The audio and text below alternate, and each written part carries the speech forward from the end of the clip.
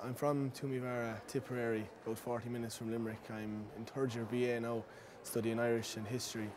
Um, I'm on my co-op year here in Mary I now, third year, so I'm on placement in the college in, in the chaplaincy. Uh, so really enjoying the experience so far, so far so good. Uh, you get to meet a lot of new people, uh, get very friendly with the staff and different students. Um, I was a member of the Fitzgibbon Cup team this year in the college, which was a great experience. We did a great run, got to the Fitzgibbon finals. We were a very small college, so we'd all be very friendly through the Fitzgibbon. Um, there would be a lot of, I would have known a few people coming to Mary but I've so many new friends now from Limerick and the surrounding areas, it's great.